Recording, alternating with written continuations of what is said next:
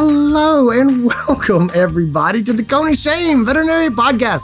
I am your host, Dr. Andy Roark. Guys, I got a great one for you today. Is on mastering weight management. This is super mega practical what to say and how to say it podcast.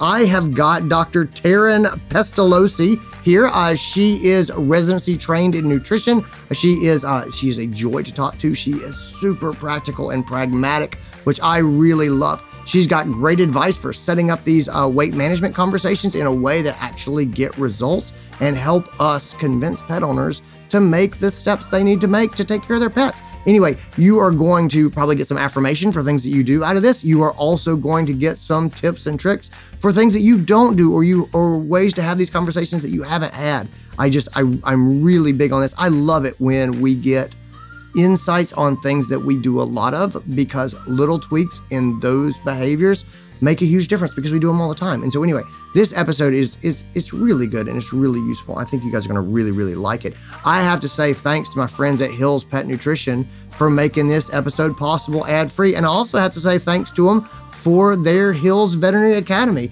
Guys, if you have not checked out the Hills Veterinary Academy, it is a uh, fantastic learning platform that Hills is putting out, and they are steadily growing and expanding. It is packed full of good stuff for training your team. It's got free race CE in there. It's just it's there's there's so much that that's going on, and they're really putting a lot of effort into it. So anyway, if you're not familiar with Hills Veterinary Academy, I'm going to put a link down in the show notes. You can give it a Google if you want to go that way, but check it out. Go see what they're doing. This is a really just a neat little gift to our profession. So, anyway, guys, that's enough of that. Let's get into this episode. This is your show. We're glad you're here. We want to help you in your veterinary career. Welcome to the Cone of Shame with Dr. Andy Roark. Welcome to the podcast, Dr. Taryn Pestalozzi. How are you? Good. Thanks for having me. Oh, I am so glad that you're here. I have, I am looking forward to this. So, what I wanted to talk to you about today. Uh, so, when you did your internship, you did your internship at Kansas State, and you ran the Healthy Weight Clinic there. And I am seeing, uh, I see a lot of of very heavy pets. I, I saw, uh, I saw a cat that was rapidly gaining weight last week, and it bothers me.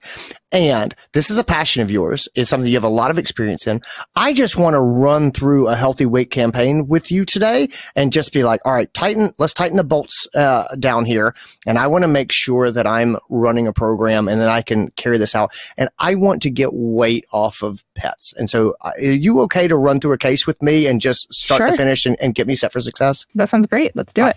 Let's do it. I have got a 100 pound female spayed chocolate Labrador named Greta. And mm-hmm. so Greta is eight years old and those hips ain't what they used to be. You know, sure not. she's yeah. It's, it's just, and I can I can see it. You know, I can see that the muscle mass in her in her back legs is not what it used to be, and her owners are not reporting mobility issues. She's not. She her her gait doesn't appear to be. You know, you don't see her walking going, oh boy, but mm-hmm. she's eight. And I can see that when I look into my future scope where I look ahead a year sure. or two. And so this dog is is probably 20 pounds overweight. I, I think she should be, honestly, if I'm really serious, she should probably be a 75 pound lab, you mm-hmm. know, but she's 100. Um, I could be okay, I think. If she's 80, I have to see it. You know what I mean? And you go, yeah, I think 80 is about right. I have to see it. But, um, but I, I need some help in this. And I think that I can get the owners motivated. I, they love this dog. I think I can make a, a, solid pitch for the lack of mobility that's coming down the pipes. And, and I, I want to really push. And so I have not gone into this room yet, but I want you to help me. Like that's how the table is set. Um, Taryn, how, do you, how do you treat this case? Where, where's your head at when you're standing outside this door to the exam room, getting ready to go in? Yeah. So I think the first thing is, uh, maybe keeping in mind maybe these owners haven't come to see you for this problem. They've brought Greta in for her annual exam. Yep, she's in for annual. Needs, yeah. Yep. So uh, it can sometimes take people off guard when you bring up a topic and you get really fixated on that that they weren't really coming to talk about. So first thing I think is to not forget your primary reason for the appointment. And if you need to schedule a follow up to actually spend more time talking about the weight loss, do that. Um, but then also consider like asking permission to talk about her weight. Be thoughtful with your language. Don't use fat humor.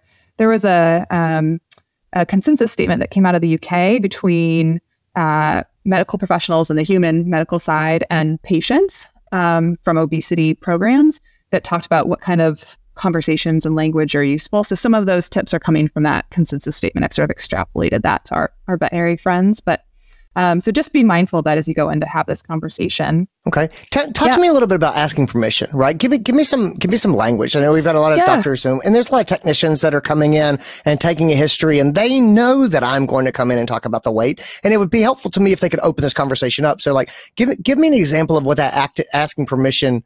I get the concept. What does that sound like? Yeah, I, I would start with an open-ended question probably. Okay. So asking the client, you know, how do they feel Greta's doing overall? Overall, do they have um, an idea of where they think her she is in terms of weight? Do they think she's a healthy weight? Do they have any concerns that she might be over or underweight? And that lets you also assess maybe where they're at with that topic, and then ask them, you know, do you mind if we spend some more time talking about this today? Yeah. I, I think I have some concerns. I really like that question of, of, you know, do you have any concerns about her being over or underweight? And it, cause it feels like a standard sort of form question. And it's not a judgment question. It feels like I'm, I'm taking a history or I'm filling out my form and, and it helps me know really quickly, uh, do they see it or are they blind to it? And we've, and we've seen, I mean, I literally had a case just like this one, chocolate lab, hundred pounds, and the owners just could not see it. And I was yeah. showing them the body condition chart and they didn't get that. That was rare. That, that definitely happened. I still remember it. Um, they were just like, nope, she looks like a five of nine to us. And I'm just going, we're yeah. not looking at the same things. Yeah. But anyway, I, I, great question. All right. I love it, Taryn. That, that's super helpful. All right, great. So I get in, get this conversation, get permission to, to, to talk to them about it. I, I like it. Mm-hmm. Where, let's say that they're like, sure, you know, we're here for the, we're here for our annual exam and wellness. Yep. We'll, we'll totally talk about it. Where do, where do you start to go from there? Uh, next, I would, as part of my exam, I do a body condition score um, assessment on Greta. And um, I think most of us are familiar with the body condition score concept. There's a couple different scale systems out there. So there's a five point scale, there's a nine point scale. In the nutrition world, we tend to go with that nine point scale. And if you need a resource in your clinic, the World Small Vet Association has some nice non branded charts that you can use, but there's lots of them available. Um, and I keep a copy in my exam room, like laminated, and I actually pull it out and I look at it while I do my body condition score because the more you actually read through the definitions of what each of the points on the scale mean, the more consistent you will get. Mm-hmm. And also, if you have your support staff and the other clinicians in your hospital all using that same tool and actually looking at it, you're going to be more consistent across your whole clinic so that you start building a more reliable history as yeah. you're seeing patients. Okay. I tend to run into not opposition to this conversation, but um, uh, just just a level of passiveness that they don't argue with you. They're not like, no, yeah. we're we're we're not going to do a weight loss program. But non-committal, I think, is how I would is how I would yeah. put it. And, and, again, I'm I'm going to lean into I'm going to lean into the hips in this in this case and try to make a, a, a real quality of life point here. But um, as I try to motivate for action and try to push through that non-committal place to to get them on board with taking action, how how how can you support me there? How do you how do you yeah. how do you do that? I think it's common for a lot of us to maybe focus on those negative outcomes, right? That we are sort of okay. foreseeing in the future. Um, and there's certainly clients that might need that, right? They maybe need you to really kind of um, hone in on those negative potential outcomes because they might not budge without it. Mm-hmm. But mm-hmm. going back to that consensus statement in human medicine, it's actually more effective a lot of times to focus on positive outcomes of weight loss rather than the negative potential um, consequences of being overweight or obese. So I hear from clients all the time, even with minimal, pretty small amounts of weight loss, they're acting so much younger. I can see they look thinner. I'm getting compliments on, you know, how they look. I've had to uh, make their harness smaller. And so really focusing on what the, the benefits are and what they might see as that progress happens, I think is often more motivating. I like that. So, so what you you're counsel here would be in the case of a dog that's overweight and, and a senior pet is maybe don't, ooh, she's getting older, uh, but, but instead talk about what we could accomplish and like she could Yeah, have the best great. years of her life. I mean, there, there's quite possible we can, we could turn back the wheel of time a couple of years and Yeah, you would, you would let's- see her. sure, let's give her, you know, the best quality of life for we can as long as possible. And to do that, let's really focus on getting her down to a lean, ideal body condition so that she can be mobile as long as possible and do the things that she loves. I'd much rather have the positive conversation than the negative one. Yeah. No one, you know, no one wants to go tell someone, oh, you know, I'm really worried your dog is going to get worse and have hard time getting up. And, you know, like that's not a fun conversation. I, No, I, no, not I appreciate this perspective. I like this. So Great. motivating from here to here to action. I, I do, I do like that. Any other uh, sort of advice for, for trying to get buy-in and build momentum? Yeah, I think it's important to try to get all of the humans in the household on the same page, right? Because there's always going to be that person who maybe um, causes lack of compliance because they're sneaking treats or you know Yeah. they don't see the importance of sort of the the plan. So trying to get everybody involved in that conversation and on the same page is always a good idea if you can. It's not always possible, but I think that's going to be helpful for your success long term. What does that look like when you go into the exam room? You know, because Yeah. it's, it's always like, ah, my husband does Uh-huh. He does. Well, he's not there. Yeah. You know, it's it's. Yep. And so, they throw so they throw each other under the bus, oh, right? a that, that's that's totally true. It could a hundred percent not. It's just because they say it's the person who's not there. That doesn't mean that really Sure. is. But yeah. Sure, I've had I've had like clients pull me aside, tell me that you know, kind of tell on their spouse or their partner. Um, so I think if you can have them both in the same room, maybe you do have schedule a follow up appointment and ask Yeah. if they can both be there or all be there. Um, but otherwise, I've I mean, I've had clients ask me to write letters to their significant others on like letterhead to tell them they need to stop feeding the pet. Oh, I haven't had that as funny. much since I came to nutrition, but I was a, a GP for seven years before I did nutrition. So I definitely got that. So that Oh, that's times. so funny. All right. Yeah. So I got it. I mean, you kind of have to play it by ear, but I think trying to get buy-in from everybody is useful. Oh, I love it. I just wondered if you had some special tool like I video myself and text it to them. I, I don't know. I don't know. I was just curious if uh, Yeah. if you had Yeah. any tools for wrangling people in. Yeah, we do the best we can. But I love it. This feels so daunting. 25 pounds is a lot. I mean, 20 pounds is, it's a lot. Um, 20 pounds for a person is a lot. And a person weighs more than 100 pounds generally. Uh, you know, it's, it's a, it's a lot to lose. Um, you know, we're talking 25%, 20, 25% of this pet's entire body weight. uh-huh. How do I set, it's not, it, it's not going to be done in a week. It- this is going to be a process. How do I set expectations so that Yeah. the clients are not like, um, we're going to try hard for five days and then "Ah, I don't see any changes. I'm, I'm giving up. Help, help me, help me set, help me set us up for success in Mhm. this, in what's going to be a marathon. Yeah, I think that's a really good, a really good question, a thing to consider. So there's a few things. First, um, the Association for Pet Obesity Prevention puts out annual reports. They do surveys of both veterinary clinics and pet owners. And on the most recent data from 2022, they reported on average maybe 30 to 40% of pet owners who had tried a weight loss plan either reported their pet was not successful or they even gained weight.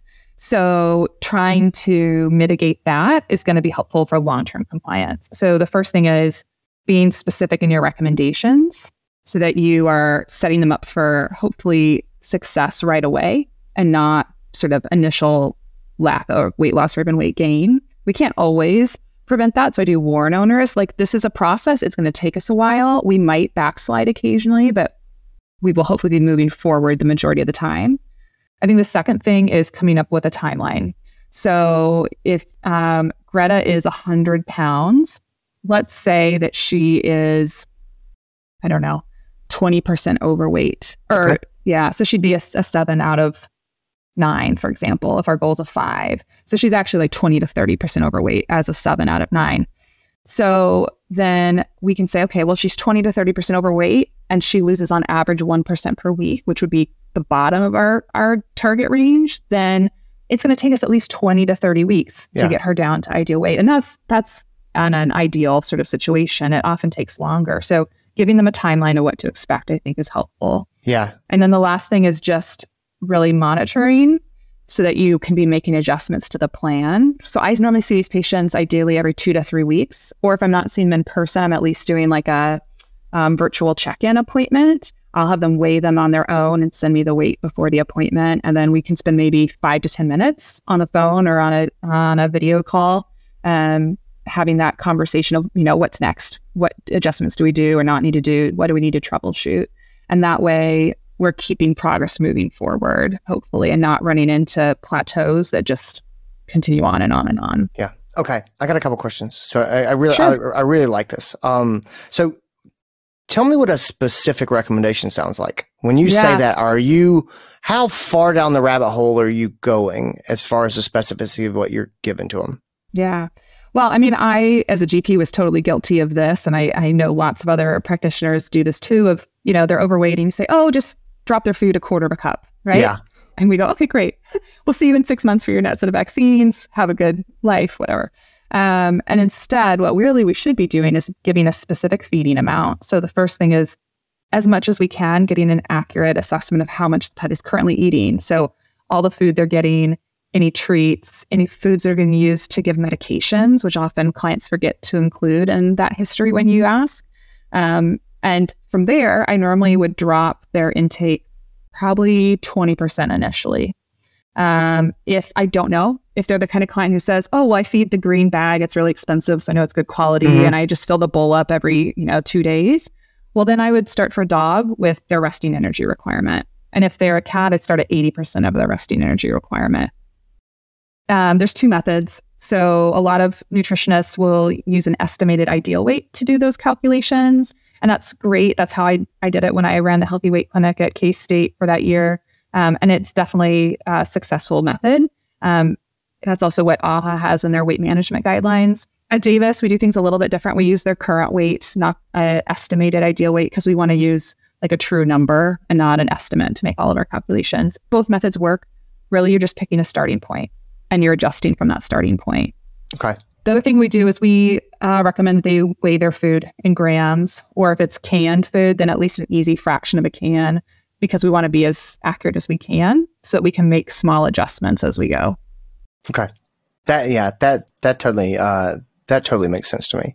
I, I like the I like the timeline idea as well. I think that's part of the, the recommendation. It's funny when you say you know uh, one uh, per week. I go okay, well that's six months, which feels very different. And just saying out loud, yeah. this is minimum of six months. Just so you know, that, that's like best case scenario. If they're a six out of nine, I can probably get them down to ideal and figure out what it takes to keep them there in about six months. Yeah. If they're a seven or above, realistically, you're talking more like nine to 12 months or more.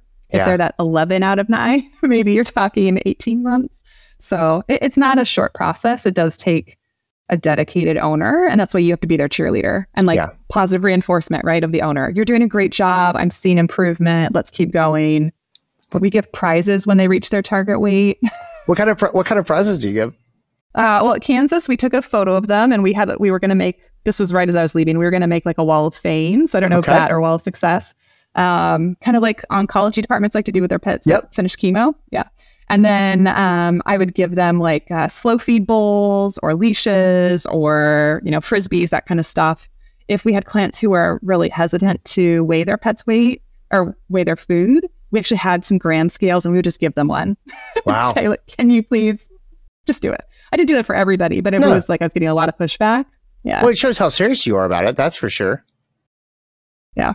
Talk talk to me a little bit about what these. So I, I, really like the sort of the monitoring part. Talk to me a little bit about what these monitoring recheck appointments look like. So you're like, yeah, we see them back two to three weeks. Um, yeah. Let's let's first let's talk in person, but but I think the virtual is is there's a lot of opportunity there. But just if mm-hmm. if you have them sort of come back into the clinic, what what does that recheck look like? You know, I know everybody's busy. You know what I mean? Like, um, sure, yeah. So we're trying to sort of fit, squeeze it in. What does that experience for the clients look like? So it can be a quick appointment. So um, my sort of rule of thumb is if I've made any changes to their plan, I try to see them back in two to three weeks. If we haven't made any changes, I push it out like to three to four weeks. So on average, every three weeks or so. And it could be probably at the most a 15 minute appointment if you are sort of efficient in how you're um, mm-hmm. running it, if you're leveraging your support staff. So you could have your support staff go in and body condition that animal if you've gotten everybody well trained and on the same book in that regard, get a weight and take a little bit of a diet history. Like, how have things been going? Are you feeding the amount we talked about last time? Have you run into challenges? What sort of troubleshooting? I mean, I think the classic example I give to students is, you know, they come in and they haven't lost any weight and it's December and you find out that, oh, the in laws are in town visiting for the holidays and they've been feeding the dog a ton of milk bones. so maybe we don't need to make a change that visit. Maybe we just need to send the in laws home and get back on track. Um, but if they have kind of lost in that one to two ish percent percent of body weight per week, then great. We don't make any changes. We see you again in a few weeks, reassess. If they have not lost um, as quickly as we'd like, or they've gained weight, then I'd probably drop them about 10% of their daily caloric intake. Okay. If they're losing too fast, then I'd up them 10%. And I'd see them again in two to three weeks and we'd reassess at that point. And I keep in mind treats. So we plan for treats in our in our plans. Yeah. Gotcha. Talk to me about what losing too fast looks like. So I guess mm. that's what I was going to start, start to poke you about a little bit was like, yeah. what is when they come back in in two to three weeks? What are we looking for? And, I, and I definitely, I, I, like the idea that we're gonna we're gonna put them on the scale. We're gonna put them on the same scale they used last time, so we get some consistency. And then if we're not seeing any weight loss at all, we're going to start to adjust. And that all tracks to me. When do I have to start worrying like, oh, we're falling like a stone? Because I suspect that yeah. pet owners are probably pretty psyched. They're like, this is great. Uh, we're making real headway. The dog, Greta's not, Greta's not really, she's not thrilled, but the pet owners, I could see them being on board. What, yeah. what am I looking out for there? Yeah, I, I mean, I've had that happen. Um, it's less common than you might think, but I mean, I've had dogs that got boarded when they were sort of starting their plan and they lost like five, six percent in a short period of time, like 10 days. Um, and so our concern there is two things. For both species, we're concerned about lack of muscle, mm-hmm. muscle, losing lean muscle, right? You mentioned Greta, you were concerned about the muscle in her hind end. So that's great. I would encourage everybody to actually record a muscle condition score every visit. It doesn't have to have a number the World Small Animal Vet Association actually doesn't use a numerical scale. It's just normal or mild, moderate, or severe atrophy. Um, and then I'd also be concerned maybe in our cat patients about something like hepatic lipidosis, but that takes a lot. It takes very dramatic, sort of extended okay. inappetence or hyporexia to get hepatic lipidosis. So I, I don't get too worried about it, but certainly for our cat patients, if I'm starting a new plan, I am really conscious of how I tell owners to transition them onto a new food and you know, give them criteria for when they would need to call us if they're not eating the new food or they're they're not doing well. How does the how does the virtual check-in visit work? Because if they're not there and you don't yeah. you don't have your scale, like what is what is that experience like for the pet owner? Yeah, it, I mean it's a pretty similar, um, I think, outline to how the appointment runs. But what I do is I made a little handout for my um, owners that shows them some specific photos I want them to take. So a photo from the side, a photo from above, and then like one of their face. If you want to use the body fat index tool from Hills and University of Tennessee, I'd also take a picture from behind them, like staring at their butt. Um, and that lets me just assess roughly their body condition or their body fat index. Um, and then I have the owners weigh them and I just help them find a consistent way to weigh them, whatever that is. If they're coming to your clinic just for a quick swing by the lobby scale, or if they have a scale at home, they can get an infant scale or even like a floor scale for a big dog relatively inexpensively online. Um, and so they just email me in advance their weight. They send me their photos. I can do the math that I need to do right before the appointment. And then it takes 10 minutes or less to have that conversation about do we need to troubleshoot anything? How fast or how slow are you losing weight? And what adjustments do we need to make? Got it. Perfect. That totally makes sense. Good deal. I like this. This this seems good. Um, are there any so we've got we've got a plan. We've got some good motivators. We've got specific recommendations. We've got a follow-up plan. Uh, mm-hmm. I, I, mm-hmm. really like the ongoing monitoring. That makes a ton of sense. I 100% see how i can lean on my on my technicians to help me with this and to run this program. And that's that's a big deal to me. I really I like nutrition for technicians, and they can mm-hmm. make my job really easy, and we can uh, we can make a real impact together. But uh, anyway, yeah. so I like all this. Is there any final pearls pieces that I want to make sure that I'm not forgetting? Yeah, and and I maybe skipped over it. So in our specific recommendations, mm-hmm. the majority of these patients should be on a therapeutic, aka prescription weight loss diet. Okay. Because if we start restricting their calories, especially if we get below like RER or even 1.2 times RER, if we're talking about dogs, we can cause nutritional deficiencies if we feed a non therapeutic diet for a long time because those therapeutic diets are fortified with extra protein and vitamins and minerals to account for the lower calorie intake that those pets are having. Okay. They also help them with staying full, so satiety. They, if they're canned diets, they have a lot of moisture. If they're kibble, they might be what they call air puffed, so bigger kibbles to take up more volume. Mm-hmm. And then they also often are high in fiber to help them feel full. So you really should be using a diet like that if you're going to institute a weight loss plan, unless you're doing small amounts of weight loss and you're being very conservative with how fast you push them. Okay. Define RER for me real quick. Resting energy requirement. Gotcha. So, yep. Um, and there's a couple ways you can calculate it. I'm going to give some resources, I think, at the end yeah, that sure. um, will show you how to do all the calculations and kind of walk you through how to do a plan like this. Cool. I love it. And then, um, so this is, I want to dig into this a little bit because I think that's a great, I think that's a great point about moving to therapeutic diets. Because one of the pushbacks I always get is, well, I can just, there's a light version of what they yeah. eat, you know? Um, yeah, we can, can I just use the light food? And, and, and I've kind of, I, I want to be supportive of pet owners and kind of meet them where they are. And at the same time, I do feel like I'm only going to get one good shot. Uh, often it's, yeah. it's one good shot. They're going to make an attempt.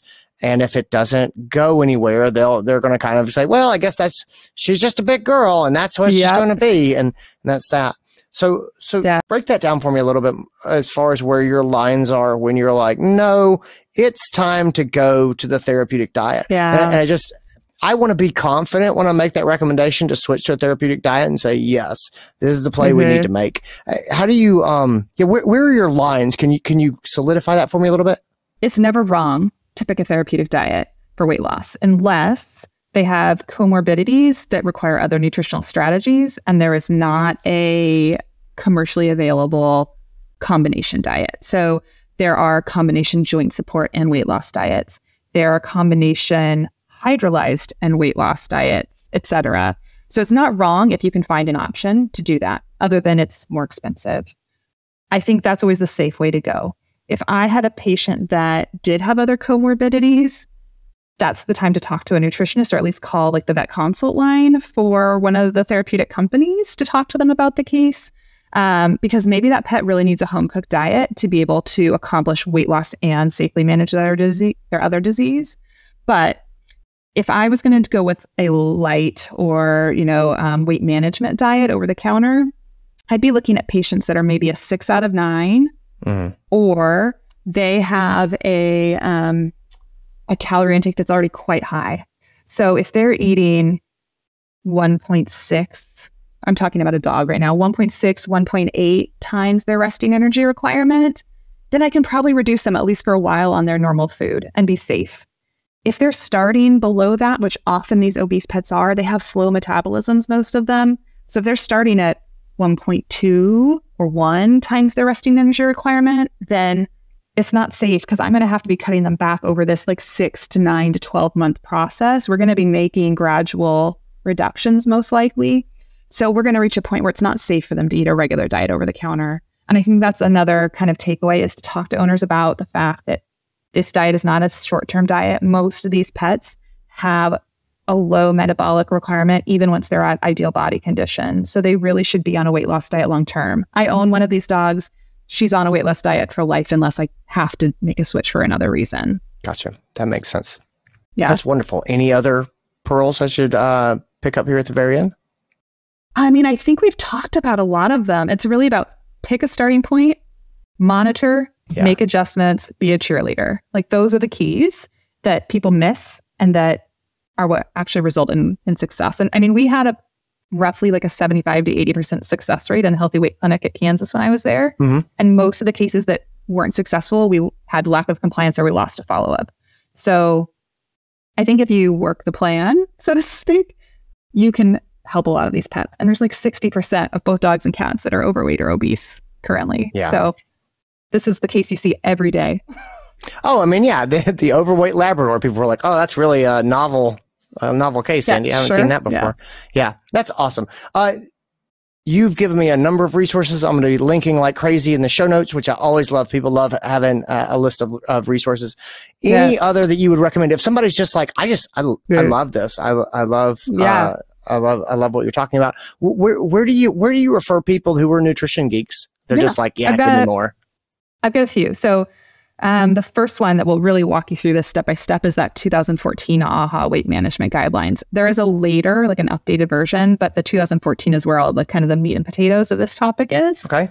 Um, the World Small Vet Association has a nutrition toolkit, so that's where you can get your body condition, your muscle condition, other resources for your um, your support staff.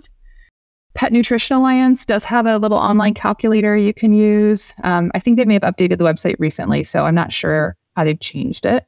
Okay. Um, and then um, Hills has the Vet Academy with some um, CE type videos about weight loss. They also have the quick repo tool that can help you initially make a plan. Um, and then if you want more about the, the stats from that recent annual survey, the Association for Pet Obesity Prevention website has the results of all of the surveys, but the most recent being 2022. And they've got good infographics and stuff. That's amazing. I will link up to all that stuff. Dr. Taryn Pestalozzi, thank you so much for being here. I so enjoy you. Great, thanks. It was so so nice talking about it. This is a topic that I really like. So. I, well, yeah, it's Yeah. it's yeah, it's obvious. That's why I had to have you. Anyway, guys, uh, thanks for tuning in. Everybody, take care of yourselves. And that's it, guys. That's what I got for you. I hope you enjoyed it. I hope you got something out of it. Thanks so much to Taryn for being here. I love. I just. I really enjoy her. I, I really enjoy talking with her about weight management. It's a it's a thing that we talk about a lot. But man, when when you find someone who is really passionate about the subject and who has had a job just having these conversations. I, uh, you know, these are important. And just because we have them a lot doesn't mean that we shouldn't take them seriously and really think about how we get better. In fact, it's the conversation we have a lot that we should really focus on because that's where we can make a real difference for the clients and the pets that we see. I mean, I don't know. It, it's just, I think a lot of time in education, there's this push to, um, there's this push to find these unique things that rarely happen and to be aware of them. And that's okay. I really think that finding the things that happen commonly and deciding that we're going to be amazing at them, I think that's how we really make an impact on the world through veterinary Anyway, that's just how I feel. Guys, if you have not checked out the Hills Veterinary Academy, you should take a look. Go and check it out. It is their uh, it is their learning uh, library. It's their learning academy. There's so many resources there. It is a great, great, great source of knowledge on all things nutrition. I'll put links down in the show notes. Go and check it out. Thanks to Hills for making this episode possible. Guys, take care of yourselves. I'll talk to you later.